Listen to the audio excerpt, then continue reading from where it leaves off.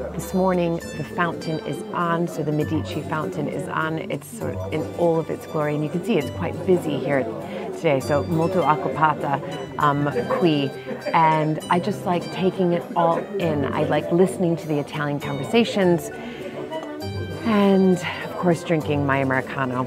So I've got really what is an espresso, double espresso, un espresso doppio, and with my hot water. So d'acqua calda. And I just pour it in.